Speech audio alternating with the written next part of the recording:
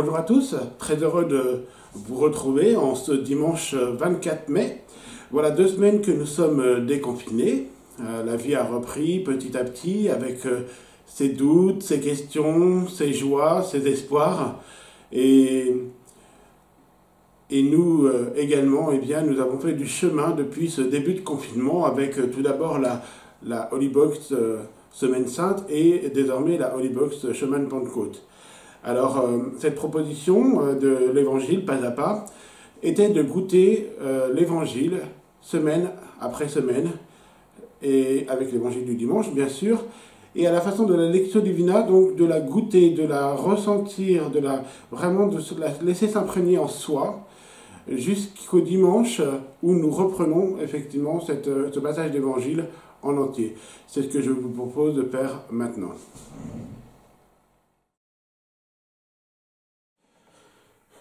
De l'évangile de Jean, au chapitre 17, les versets 1 à 11.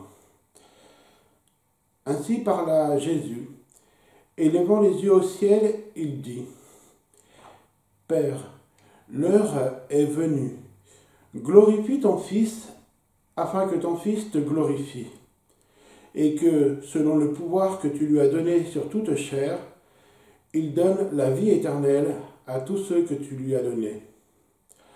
Or, la vie éternelle, c'est qu'ils te connaissent, toi, le seul véritable Dieu, et celui que tu as envoyé, Jésus-Christ. Je t'ai glorifié sur la terre en menant à bonne fin l'œuvre que tu m'as donné de faire. Et maintenant, Père, glorifie-moi auprès de toi de la gloire que j'avais auprès de toi avant que fût le monde. J'ai manifesté ton nom aux hommes que tu as tirés du monde pour me les donner. Ils étaient à toi et tu me les as donnés et ils ont gardé ta parole. Maintenant, ils ont reconnu que tout ce que tu m'as donné vient de toi, car les paroles que tu m'as données, je les leur ai données et ils les ont accueillies et ils ont vraiment reconnu que je suis sorti de près de toi et ils ont cru que tu m'as envoyé. C'est pour eux que je prie. Je ne prie pas pour le monde, mais pour ceux que tu m'as donnés, car ils sont à toi. Et tout ce qui est à moi est à toi, et tout ce qui est à toi est à moi, et je suis glorifié en eux. Je ne suis plus dans le monde, eux sont dans le monde, et moi, je viens vers toi.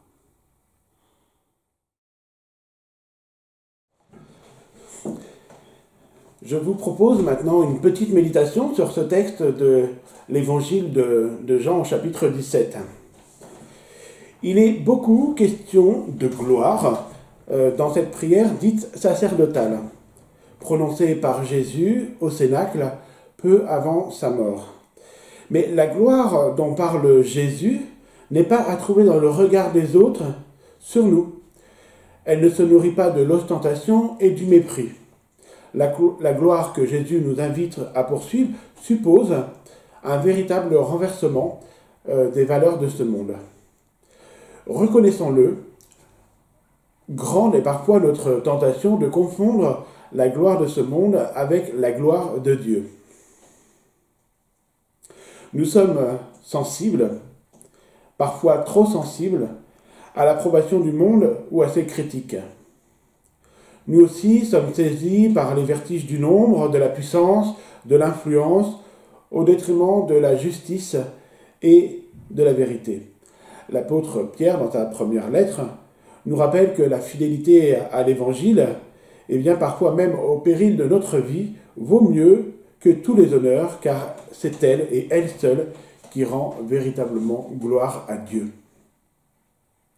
Avant de quitter ce monde pour aller au Père, Jésus embrasse du regard toute sa vie et la résume en quatre phrases. Père, je t'ai glorifié sur la terre. J'ai achevé l'œuvre que tu m'as donnée à faire. J'ai manifesté ton nom aux hommes que tu m'as donnés et je leur ai donné les paroles que tu m'as données. Que ce soit les trente ans de Nazareth ou les quelques années intenses de son ministère, tout dans la vie de Jésus a glorifié le Père. un seul projet l'habiter, manifester son nom, c'est-à-dire dévoiler l'être de Dieu à partir de son existence. Le travail premier de Jésus, sa priorité des priorités, fut de glorifier son Père en nous faisant connaître son projet de nous voir mener une vie pleinement humaine. Une vie qui nous ennoblit. C'est à cette priorité qu'il lui valut d'être mal aimé par euh, ses contemporains et qui l'a amené jusqu'à subir un procès tout pipé d'avance. Notre priorité, à nous aussi, c'est de glorifier le Père en portant du fruit, celui du silence caché dans nos Nazareth à nous, celui plus tangible euh, d'affirmer avec force notre foi en lui, celui aussi plus douloureux de vivre ce rapetissement de notre Église dans la prière et la confiance, de savoir qu'un peu de sel eh bien, donne beaucoup de saveur. Deux visées sont inséparables euh, dans notre vie comme dans le projet de Jésus, la gloire du Père et le salut du monde. Pour glorifier le Père, pour promouvoir son salut, eh bien, il nous faut habiter le silence, revêtir sa parole et nous laisser guider par son esprit. Tout un programme. En relisant ce passage de Jean, comment ne pas dire Jésus, ma gloire Ce mot est tellement présent dans ce passage de l'Évangile. Voilà, Jésus, ma gloire. Ce n'est pas une tendance spontanée euh, en nous que d'appeler Jésus ma gloire. Pourtant, il faudrait que ça devienne une forme, une bonne habitude à prendre. Cela confirmerait que nous n'avons pas seulement écouté cette page, mais que nous, avons un peu compris que nous sommes en lui et qu'il est en nous. Jésus, ma gloire.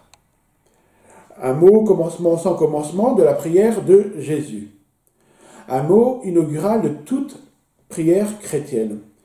C'est un mot d'une telle plénitude, d'une telle densité, qu'on peut affirmer qu'à chaque fois qu'il est utilisé, eh bien, il peut, il peut se remplacer par celui de joie, de paix et de vie. Jésus, ma joie.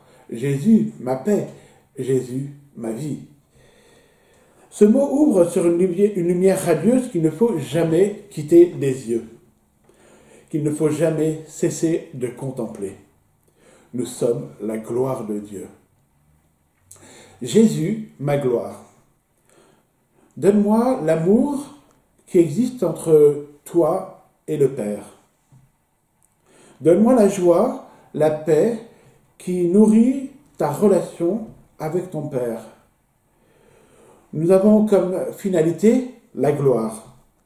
Cette beauté-là, cette gloire-là, dont Paul parle comme sa seule glorification, dans l'épître aux Galates, chapitre 6, verset 14, eh bien, elle doit rayonner sur nos visages.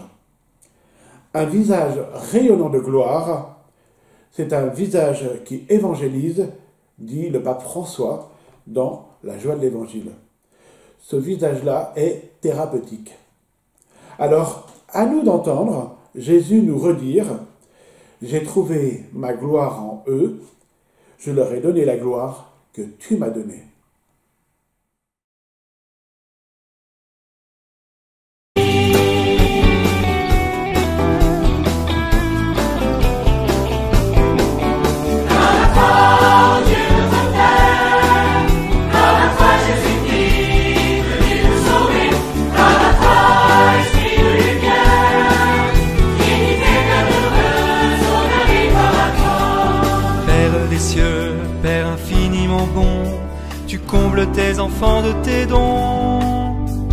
Tu nous as fait, nous t'offrons nos cœurs, nous te bénissons, nous croyons en toi Seigneur. Gloire à toi,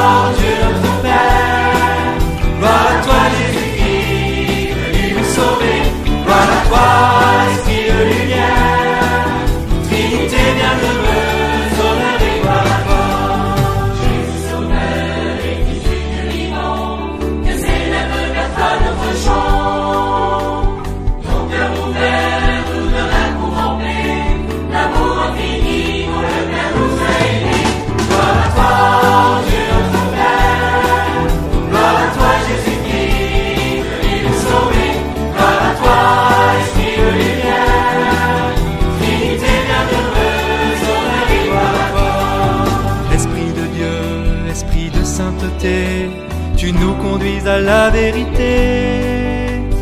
Descends sur nous, éclairer nos chemins, sois le maître en nous et fais de nous des témoins. Gloire à toi, Dieu notre Père, gloire à toi Jésus-Christ, venu nous sauver, gloire à toi,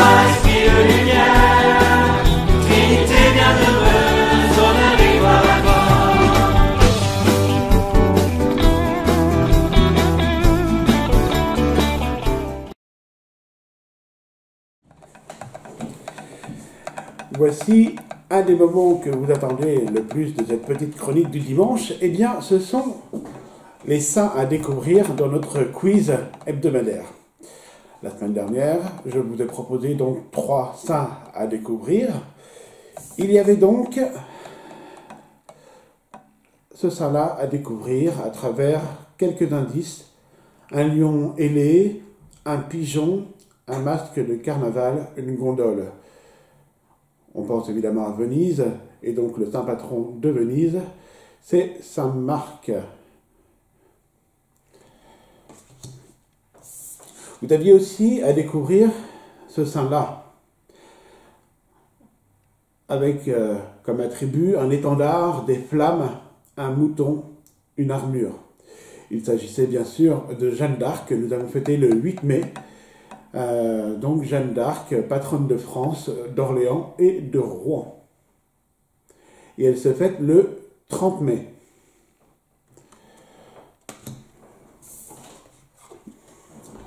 Et enfin, je vous proposais ce saint-là, avec comme indice une bourse, un paquet cadeau, un sapin enneigé et une crosse pastorale. Il ne s'agit pas bien sûr du Père Noël.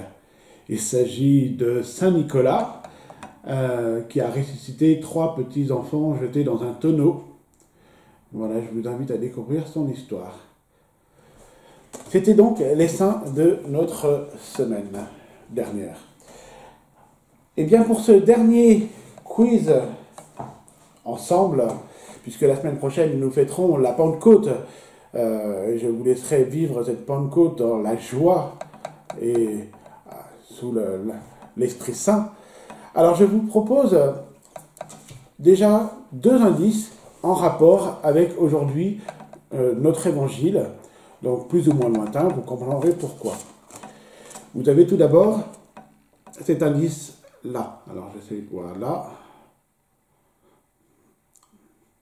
Alors je vous donne euh, les différents attributs. Il y a un olivier, un poisson, un aigle et un calice avec un serpent. Voici le premier saint à découvrir cette semaine. Et vous avez également ce saint à découvrir aussi, avec comme attribut une vipère, une épée, un éclair et un livre.